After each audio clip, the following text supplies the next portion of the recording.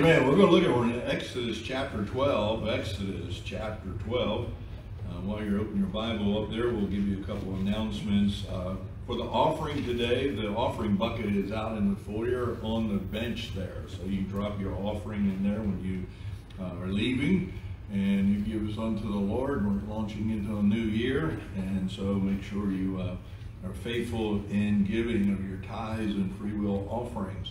Also on the counter out in the foyer is a roster of topics to be discussed in our annual church meeting. Our annual church meeting will be on January the 16th. And so we want you to be praying about the mission budget, our regular budget. Also, you our annual report will be given out on January the 12th. That's a Wednesday evening, so you can read through that before the annual church meeting. If you're a member of the church, you really need to be here for that meeting, and uh, that's all getting uh, all the information about this past year, and also uh, launching out uh, and approving what we need to approve for the new year. So make sure you uh, take advantage of that. Remember, this Wednesday there will be no children's chil ministries this Wednesday. just because of the increase of people getting sick and COVID spreading around, we're just uh, trying to uh, sidestep that so we don't have any exposures that is unnecessary.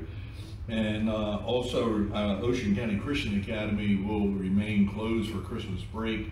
This week, we're extending it one week just to deal with uh, uh, increase in infections among the student body. And so, you will pray about that with us and help us with that. Uh, we appreciate that. I appreciate uh, those that are watching live stream this morning, lightening up on the attendance. We appreciate you helping us out that way. Church will be at 6 o'clock tonight. You're welcome to be here or watch live stream. And uh, uh, live stream is okay, but you don't get the heat of the sermon if you're not here. but anyway, uh, there's a few announcements that you need to be aware of, and uh, we want you to take advantage of those opportunities to be able to serve the Lord. Exodus chapter 12, I'm going to begin reading in uh, verse 1. It says, The Lord spake unto Moses and Aaron in the land of Egypt, saying, This month shall be unto you the beginning of months. It shall be the first month of the year to you. Speak ye unto the, all the congregation of Israel, saying, In the tenth day of this month uh, they shall take to them every man a lamb according to the house of their fathers, a lamb for a house. And if the household be too little for the lamb, uh, let him and his neighbor next un, uh, unto his house take it according to the number of the souls, every man according to his eating uh, shall make uh, your count for the lamb. For the lamb shall be without blemish, uh, a male the first year, uh, ye shall take it out of, of the sheep or from the goats, and ye shall keep it until the fourteenth day of the same month. The whole assembly of the congregation of Israel shall kill it in the evening, and they shall take of the blood and sprinkle it on the two uh, side posts and on the upper door post of the house wherein they shall eat it. And they shall eat the flesh in that night, roast with fire and unleavened bread, and with bitter herbs they shall eat it. Uh, eat not it of, of, it raw, nor sodden at all with water, but roast with fire, his head with his legs, and with his uh, thereof. And ye shall uh, let nothing of it remain until the morning, and that which remaineth of it until the morning ye shall burn with fire. And thus ye shall eat it, with your loins girded, your shoes on your feet, and your staff in your hand, and ye shall eat in haste. It is the Lord's Passover. For I will pass through the land of Egypt this night, and will smite all the firstborn in the land of Egypt, both man and beast, against all the gods of Egypt. I will execute judgment. I am the Lord. And the blood shall be to you for a token upon the houses where ye are. And when I see the blood, I will pass over you, and the plague shall not be upon you to destroy you when I smite the land of Egypt. Let's pray. God, we're so thankful uh, to be able to be together here in church this morning. We're thankful that we can connect with one another via live stream. And uh, Lord, most of all, though, we're glad that we can connect with the God of heaven as we read his word. And so, Lord, as we enter into this new year, I pray that you'd give us uh, some perspective about what we should or should not be. I pray that you might impress upon our hearts a, a clear vision of what it is God will do through us uh, this new year. I pray, Lord, that as we launch out into this new year, uh, there would be on our hearts a, a, tenderness and a burden for people to be saved. And I pray that we might be able to see a multitude of people coming to Christ this new year. And so, God, I pray that you might bless the preaching of the Word of God this morning. Uh, help us to comprehend what is being said and help us to be sound in our application of the Word into our personal lives. And I pray this and ask this in Jesus' name. Amen. Our text verse is verse actually three verses, verse 11 through 13 says, And thus shall ye eat it with your loins girded, your shoes on your feet, uh, your staff in your hand, and ye shall eat it uh, in haste. It is the Lord's Passover. For I will pass through the land of Egypt this night, and will smite all the firstborn in the land of Egypt, both man and beast, and against all the gods of Egypt I will execute judgment. I am the Lord. And the blood shall be to you for a token upon the houses where ye are. And when I see the blood, I will pass over you, and uh, the plague shall not be upon you to destroy you when I smite the land of Egypt. So entering into the new year, uh, at the beginning of the chapter, he identifies the beginning of the year. In verse 2, he says, This month shall be unto you the beginning of months. Well, it's January. It's the beginning of the months of uh, in the new year. And so God, I believe, has something to say to us and challenge us through this passage of Scripture. Israel has been in bondage for 430 years. Oftentimes we have uh, stressful situations or we have uh, situations where we feel like we're not in control of that and it may only ask, last for a few days or maybe for a month or whatever and we think it's a long time. Israel's been in bondage for 430 years uh, and uh, they had now God comes on the scene through Moses to bring them out of bondage in Egypt and now they're going to watch God uh, br bring his judgment on Egypt uh, through the plagues that the, they will experience. Uh, I heard one preacher say these plagues uh, took a period of about nine months. Oftentimes we read them, we think, okay, plague happened today, and then tomorrow we had another plague, and so in 10 plagues, 10 days, it was all done with. No, it was several months uh, these plagues going through and, and Pharaoh rejecting the opportunity to let Israel go, and God would continue to bring his judgment on there. Now that God has gotten everyone's attention and the final judgment is coming on Israel, on Egypt, as far as their firstborn dying, God is going to now set them free. Uh, he is going to give them an opportunity to be able to enter into a new era of history uh, as the people of Israel. And realize that as we go into 2022, uh, we're entering into the new year as a new era, a new opportunity to live for the Lord. 2021 is over and it is gone. And whether we're dealing with uh, economic issues, political issues, or we're dealing with COVID issues, whatever it is, 2022 has its own unique experiences that we're going to have to go through. And so how can we approach this opportunity of going into a new year uh, from a biblical perspective in reference to Israel, uh, connecting with God, leading them and directing them into this new life that they're going to live, no longer in bondage in Egypt. I see, first of all, in verse 11, there's preparation.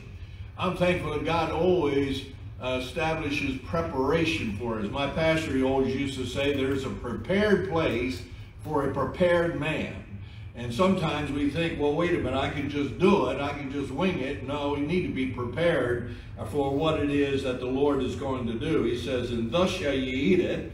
with your loins girded, your shoes on your feet, and your staff in your hand. Uh, ye shall eat it in haste. It is the Lord's Passover. And so he's preparing them for this journey that they're going on. But notice the preparation in experiencing and observing the Lord's Passover. There's a preparation time. And uh, verse 11, notice they were to eat it with their loins girded. So I call it this preparation is your way. You know, over in the book of Acts, uh, when the uh, uh, uh church was growing and being established, people were being saved. Uh, really, the world, the unsaved crowd, the heathen, did not know how to respond to what was going on in people's lives. And it's interesting in Acts chapter 19 in verse 9, the response or the name that they give to this matter of Christianity. In Acts chapter 19 and verse 9, it says, But when divers were hardened, I mean, just different people were hardened to the gospel that was being presented, it says, I believe not what spake evil of that way. The church, the Christians were called that way. And it says, so uh, uh, before the multitude, he departed from them and separated the disciples, disputing daily in the school of one Tyrannus. Then in verse 23 of Acts chapter 19, uh, continues uh, stating it this way. It says, In the same time, there also rose no small stir about the way. Uh, they didn't know what, what to call it. They didn't know what, how to identify it with. Certainly we know that uh, Christian uh, believers were called Christians first at Antioch, but the heathen didn't know what to do with these Christians. Everything was stirred up. Everything was turned upside down. I mean, they had a faith that did not cower in the corner when opposition came into their face and face, and all they could do is respond to them. We don't understand these people after this way. And then chapter 24, in uh, verse 22, uh, Felix, when he, Paul is before Felix, in chapter 24 and verse 22, says, And when Felix heard these things, having more perfect knowledge of that way, he deferred them and said, When uh, Lysias, the chief captain, shall come down, I will know uttermost of your matter. And so uh, even Felix and Paul was before him and trying to deal with this matter of who Paul is, what has happened into his life, what changes took place, why is he being accused, why is he being thrown in prison. All they could do is refer to it as the way. And so when you think about preparation of going into the new year, uh, what's your way? How are you living? What's your character? When people look at you, uh, what, what is their response in reference to who you are? 2022 gives us great new opportunities for us to shake people up, to show them what a Christian is, to live our life in a way that they're confused and say, I don't understand this that took place in your life. Because when Jesus comes into a person's life, their way of living is completely transformed. And, uh, and, and, you know, Paul was transformed. He was a persecutor of the church, but he became a preacher of the church. Uh, you think about Peter and his steadfastness of the traditions of the Jewish faith, and, and yet he becomes a great preacher and apostle of the early church. His life was drastically changed. You see all the way through the scriptures, Abraham was called Abram, but his name was changed to Abraham. Sarai's name was changed to Sarah. Uh, we have uh, Jacob was changed to Israel. God changes people's lives. And as we go into the new year, we need to be prepared to let God do what he will in our life so as to get the attention of the world that is around us. Preparation is going to have to require of each of us uh, to gird your loins and be ready to be different than what the world is.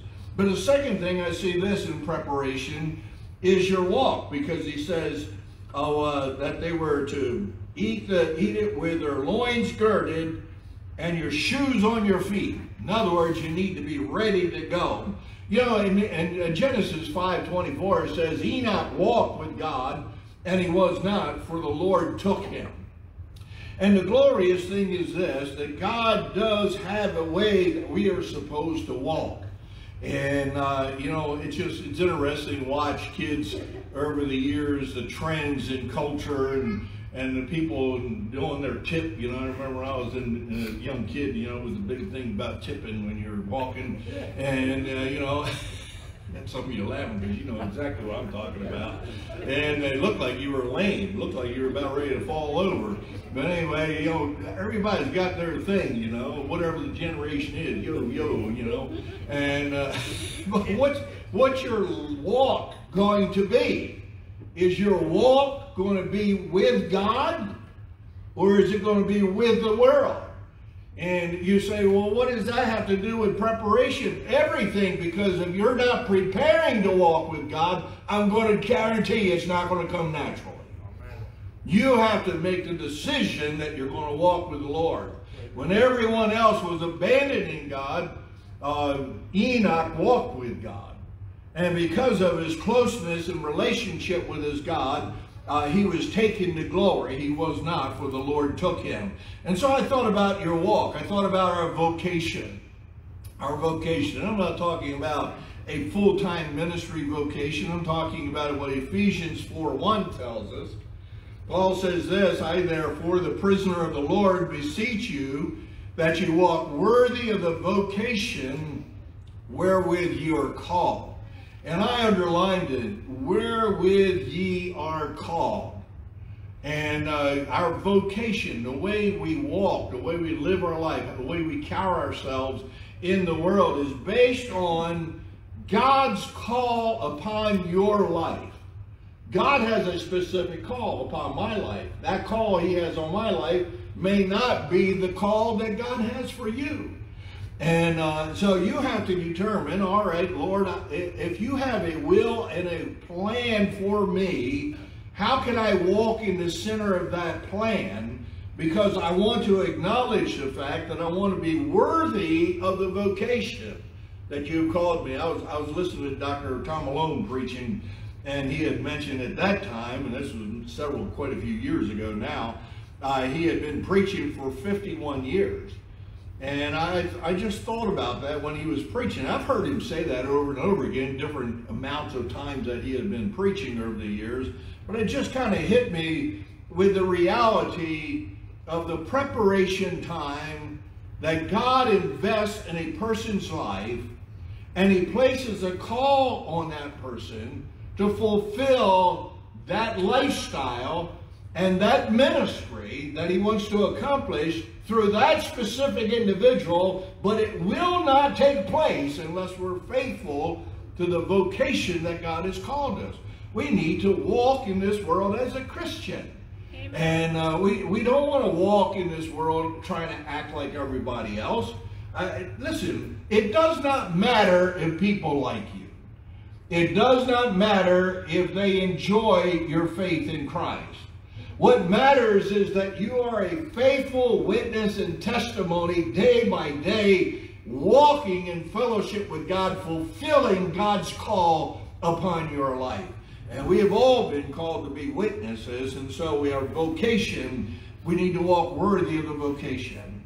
I thought about your shoes on your feet, not only vocation, but I thought of obligation. That places an obligation on us. God is really placing an obligation on the children of Israel here on how they're to respond to what he is about ready to do.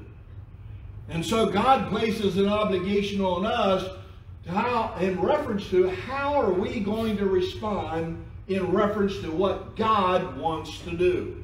And I, I told Colossians 1.10 says that you may walk worthy of the Lord unto all pleasing being fruitful in every good work and increasing in the knowledge of God. And I, I just kind of underlined in my notes there, walk worthy of the Lord, and, and underlined this, unto all pleasing. And uh, certainly as vocation is reference to fulfilling a call, obligation is in reference to satisfying a desire unto all pleasing. We want to live our life and prepare to live our life the way we walk in this world in a way that is pleasing to God. What good would it be in your life if you were able to satisfy everybody you come in contact with, satisfy all your employers, be able to satisfy all your family, and everybody's happy with you, and then you stand before God and God says, I'm not pleased with what you did. And I think this preparation that is laid out for us here in verse 11, that Israel had to be ready to leave the promise, uh, leave the land of Egypt to go to the promised land was a reality check on them. Were they willing to please the Lord? Because over and over again, they said, give us your law, we'll obey it. God giving, would give them his law, and he, they would disobey it. They would break it. And so we have an obligation to pre be prepared to walk with God in this new year. And then I wrote down not only vocation and obligation, but glorification. Glorification. In 1 Thessalonians chapter 2 and verse 12 says that ye would walk worthy of God, uh, who hath called you unto his kingdom and glory. And uh, the amazing thing is this, uh, God has not called us to walk worthy of the kingdoms on this earth. It is more important for us to identify with the kingdom of God than it is for the kingdoms that we have here. You know, you know, Abraham, you find Abraham's life, he dwelled in tents. Why did he dwell in tents? Because of the fact his desire was, he realized that his home was not here on this earth, but rather his home was in heaven. He was looking for that city whose foundation and maker was God. He wasn't looking for what he could uh, uh, uh, incorporate in his life and build up for himself because of the fact that he was living in light of the kingdom and the glory of God Almighty. And so your walk in Matthew 6.33, but seek ye first the kingdom of God and his righteousness, and all these things shall be added unto you. Uh, that's still in the Bible, folks. We seek the Lord, number one, and everything else is number two in our life. I know when I got saved, I was driving a tractor and trailer, and and uh, they would want me to take loads uh, that would uh, haul. I don't know. We used to they used to haul whiskey. They wanted me to haul whiskey. I said, I ain't going on my truck. I ain't picking it up. And uh, they used to get so mad at me because I said, no, I'm a Christian. I'm not carrying that stuff. Uh, you know, I dumped that stuff down the drain when I got saved, and I'm not going to put it on a truck to carry it to somebody to ruin their life. I'm always when I were talking the other day, and uh, um, uh, uh, some beautiful horses are those uh, Clydesdales, uh, Budweiser Clydesdale. And what beautiful horses they are, and the, how they treat them, and how they care for them and how they transport them. I mean, you're talking about multi-millions of dollars to care for a stupid horse. And I, thought, I told my wife, I said, yeah, isn't it amazing? They have no money, was spending thousands and thousands and thousands of dollars upon thousands of dollars to be able to promote something that's going to ruin somebody's life. You know, not only ruin their life health-wise, but they'll ruin their, their family, socially speaking. It'll ruin their ability to even be able to make a living and to be able to continue on in this word, well, world in which we live in. The Christian does not live in the light of what the world has to offer. We live in the glory of God. And so preparation, your way, your walk. And then I put down here your work. Notice he says in verse 11, your staff in your hand. Your staff in your hand. You know, Paul will talk about the work of the ministry, and oftentimes we forget that uh, ministry is work. And Philippians chapter 2 and verse 25, you know, it's just, it's, it's always amazing. I think people think church just happens on Sunday. Uh, there's a lot of work that has to go into preparing, preparation, preparing to have a church service and certainly in the days in which we're living, where we have all these other added stresses and obligations, responsibilities, health issues, and got all these things, and you got to try to do ministry, your work. It's work to live for God and to serve the Lord Jesus Christ. Philippians chapter 2 and verse 25 says, Having this confidence, I know that I shall abide and continue with you all your furtherance and joy of faith, that your rejoicing may be more abundant in Jesus Christ for me by my coming to you again. And here it is. Only let your conversation, that means your lifestyle, be as it becometh the gospel of Christ. That whether I come and see you or else be absent, I may hear of your affairs that you that ye stand fast in one spirit, with one mind, striving together for the faith of the gospel. That's our theme for the new year is together. We work together to do the ministry so as to be able to reach out to other people so that they might be saved also. So preparation. Uh, I see in verse 12, provocation. In verse 12, notice it says, For I will pass through the land of Egypt this night, and will smite all the firstborn in the land of Egypt. Provocation. Uh, there is, there is an opposition between God and Egypt. There is an opposition between God and this world. And he said, I'm going to pass through Egypt, and I'm going to smite their firstborn, both man and beast, and against all the gods of Egypt I will execute judgment. I am the Lord. Here's some things here. The provocation is based on the presence of God. And uh, the presence of God. Did, did, I skip over a whole lot? Did I? Huh? You don't have the presence of God. And I must have not been thinking about uh, what I was doing back there when I put that on. All right, here it is. The first, before we get down to those other points, uh, the presence of God. He says, "I will pass through the land." And I, I, just think of 2022. We need we need to be a part of getting God passing through the land. Uh, Pete, listen, God indwells us. His Holy Spirit is in us. We are the temple of the Holy Ghost. So everywhere we go, God is there.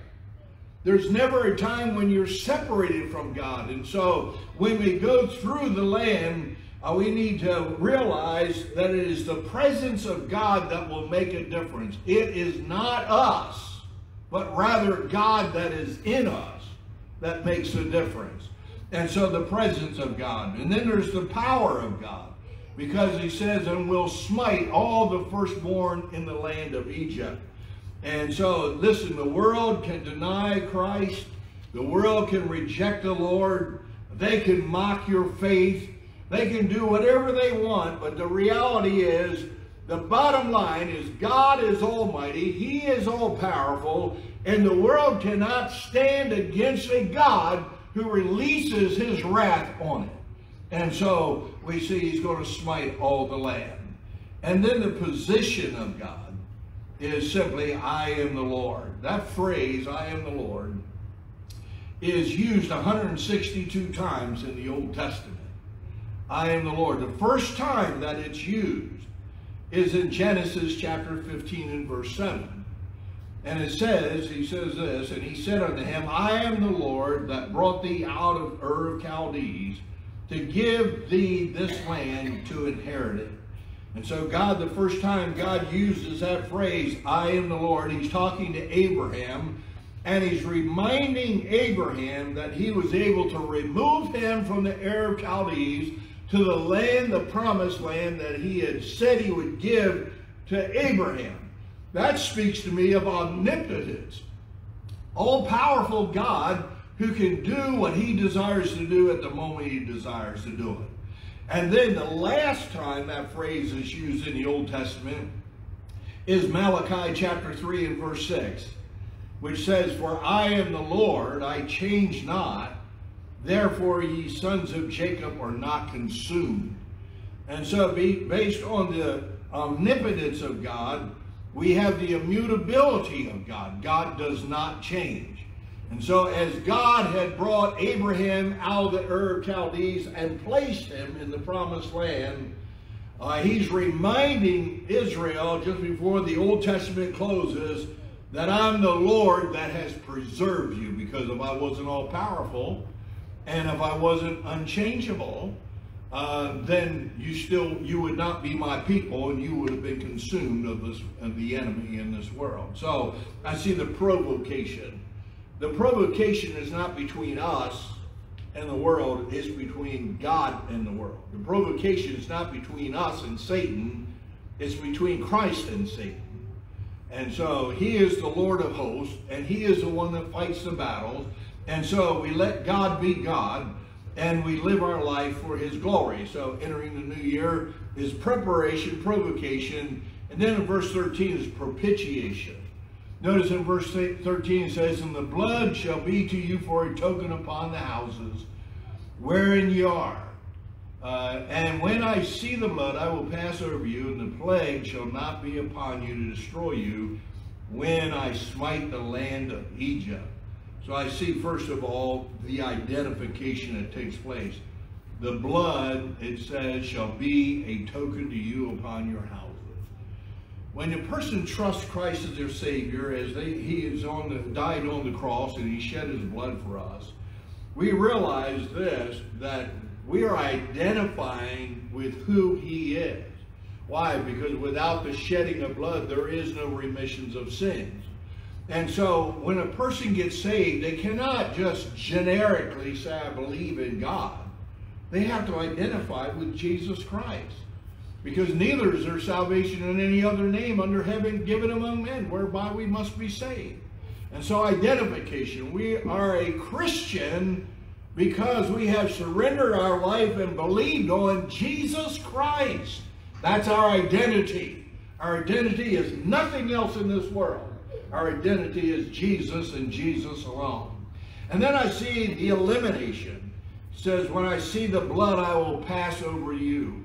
That reminds us of Romans chapter 8, verse 1. There is now, therefore, no condemnation to them which are in Christ Jesus. And so the, the elimination of God's condemnation on us is the fact that Jesus Christ died in our place. And because he died in our place, uh, then all the judgment of our sin is laid on Jesus Christ.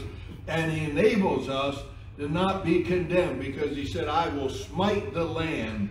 And, uh, and he, when he, I'm thankful that God has not appointed us to wrath but I'm thankful that when the trump of God sounds, we're going to glory. Amen. Because of the fact we're identified with Jesus, the judgment of sin has been eliminated from us because it fell on Jesus.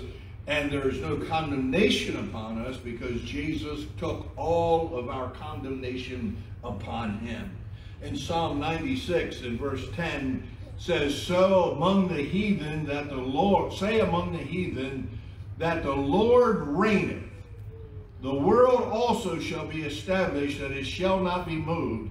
He shall judge the people righteously. And so, knowing this, that he was going, he reminds Israel, I'm going through the land to smite the land. He was not there to smite his people. He was there to release his people. So as we go into this new year, you think of preparation, the provocation of God, and the propitiation of God entering the new year, I have to ask three questions. Number one, are you preparing yourself as, uh, so as to be ready for God to use you? That's a serious question. Are you preparing yourself so that you will be ready for God to use you? Or are we just going into the new year? Well, you know, 2021 was a rough year, whatever. I just wonder what 2022 is going to bring, what we're going to experience in 2022. Why don't we think in the mindset that I need to get ready for what it is God wants me to do? You say, well, what is it? I don't know. But God knows. But I know this, He's not going to enable me and allow me to experience that and be involved in that if I'm not preparing myself for God to use me. And so I need to be praying. I need to be reading the Bible. I need to be meditating on the principles of God. I need to be assessing how my life can change through faith in Christ. I, I need those things actively involved in my life so that I'm ready to accomplish whatever it is God wants to do with me and through me. So how are you preparing yourself so as to be ready for God to use you? Number two, are you ready to meet the challenges of the new year? Because uh, there's some great challenges. 2021 brought some great challenges to us. And by great, I don't mean blessed. I mean, they were overwhelming. Uh, but 2022, I have no idea what it's going to bring. But I don't know what tomorrow is going to be or what's going to happen, but I know God does. So I want to be prepared to meet the challenge. I don't I don't want 2022 to be the, the, the deciding year in my life where I quit on God. I don't want 2022 to be the decisive year that causes me to stop going to church or to stop reading my Bible or stop surrendering my life to I don't want 2022 to be the destroyer of my testimony. Amen. So I want to be prepared. I want to be ready to meet the challenge. God, whatever the challenge is, impress upon my heart. Show me. Reveal it to me so I can get ready to deal with that challenge in my life.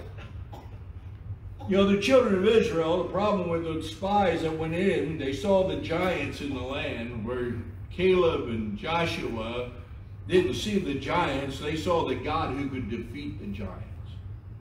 And there's going to there's giants waiting for us in 2022. But there's a God in heaven who can defeat every one of them. So you're ready to meet the challenges. Then number three, you have to ask the question, have you been cleansed by the blood of Christ? Uh, you may be here this morning, you might be watching live stream, but you've never been saved. You've never been born again. Uh, you've tried to be righteous, tried to be a good person. You've tried to kind of change your lifestyle, whatever, but nothing's working. It's because you need the blood of Christ to cleanse you, wash you, and deliver you. And so if you're not sure you're saved, if you're not sure you've never been cleansed by the blood, need to come and let us show you from the Bible how to be saved this morning. Entering the new year. I mean, it's exciting. Just thinking what 2022 has to offer. We already have some challenges to deal with. Amen. It's exciting to think, how am I going to get through this? How am going to how are we going to see God do something that's completely out of our control? Then who gets the glory? Only God gets the glory when that takes place. And the deliverance of Israel out of Egypt, Moses couldn't get the glory. Joshua couldn't get the glory. none of the leaders in Israel could get the glory. When he brought them out by his power and by his grace and his wrath coming on to Egypt, there's only one person who could get the glory, and that was Jehovah God. Amen. And we want to be able to see Jehovah God get the glory through Christ Jesus for everything that takes place in our life in 2022 entering into the new year. Amen. Let's pray. My God, I thank you so much, Lord, for grace. I thank you, Lord, for new life that we can have through faith in Christ. I, am thankful for the example we find in Scripture, how you worked in the life of Israel. Lord, I pray you would help us to be prepared for this new year. Uh, give us uh, Scripture. Give us, give us peace. Give us a mind that's focused on Christ. Uh, Lord, help us be prepared for the challenges because we know, Lord, that you're against the wicked. Uh, and so, Lord, we want to be able to walk with you. We want to be worthy of the calling of God in our life. And Lord, we know whatever we are, whatever we can accomplish is only through the sacrifice of Christ. He is the propitiation for our sins. And we thank you, Lord. So help us, help us, Lord, uh, to launch into this new year with the determination that Jesus Christ is King of kings and he is the Lord of lords. I pray this in Jesus' name. Amen. We're going to sing a song. Is your all on the altar? Is your all on the altar? Let's stand and sing. If you're watching by live stream, this would be a great time for you in your living room, wherever you are watching, to make a decision for Christ. Realize this just because you're watching live stream doesn't eliminate the opportunity for you to make a decision for the Lord. If you're not sure you're saved, you need to get a hold of us. We'll show you how to be saved. If you're a Christian, you're going into the new year, you're not sure, you're apprehensive about what the new year holds for you. I want you to know there's a God in heaven who cares for you. And you can come and you can surrender your life. You can kneel right in your living room. I remember years ago, my wife got saved watching television preacher. He said, you're right in your living room. You can kneel in your living room and ask Jesus to be your Savior. That's what she did, and she got gloriously saved. It's not complicated. It's just knowing this is a new year that God's given us. Approach that? How are we going to surrender that? Are we going to give it all to the Lord Jesus Christ?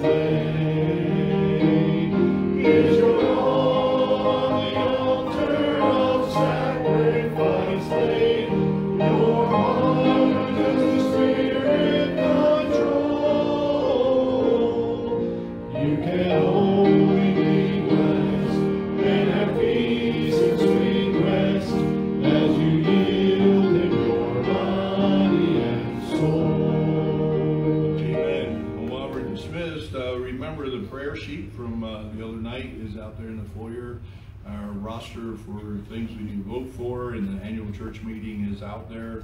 And so we want you to take care of that. And offering bucket is out there. Make sure you stop by and leave your offering. And um, I think Tommy's taking care of that out there. So you can see Tommy Dewana. And church will be at six o'clock tonight. Amen. And uh, so I want to encourage you to be in church or you can watch live stream. Next week, we're going back to our regular services on Sunday morning. We'll have Sunday school and we'll have the regular services just uh, unless something major changes. Amen. So uh, this is always a fluid situation that we're trying to make decisions about. And so uh, you be careful, stay healthy. Amen. And we're expecting great things from God in this new year. Pastor Juana? Just before we pray, one final announcement on the giving. I had mentioned last week that uh, they're changing the mobile app. They are changing the mobile app, but I got some additional information. If you're set up for regular withdrawals on your um, on your giving app, that will not change. You don't need to do anything. If you want to make changes to your account, you need to download the new app. The login, your username, and your password remains the same. And just log in. It's basically going to be the same thing, just a different app. But if you have just regular withdrawal, you have to make no changes. It'll transfer over to the new app without any problems. All right, let's pray. Lord, thank you so much. Uh, Lord, we know that last year was full of challenges and, hurdles. But also, we also saw the hand of God working in us, Lord, working in our church. Lord, we know that with challenges and difficulties provides an opportunity for us, Lord, to be able to uh, just see the, the, the hand of God working and to honor and glorify you, Lord. And Lord, maybe we're here this morning and we're, we're thinking that, you know, last year we, we didn't do what we should have done for you. But Lord, it's a new year. Today's a new day. And Lord, may today be the day that we start anew. Lord, that we have a fresh vision from you, that we have a renewed spirit to serve you, Lord, and that we would realize, Lord, that there's no greater place to be than in the center of your will, doing the work of God. And so, Lord, we pray that you would use this, Lord, today, tomorrow, this year, in a mighty and powerful way, that we would see the hand of God working in our lives to bring others to you and to continue ministering and serving you in every capacity we can. In Jesus' name we pray. Amen.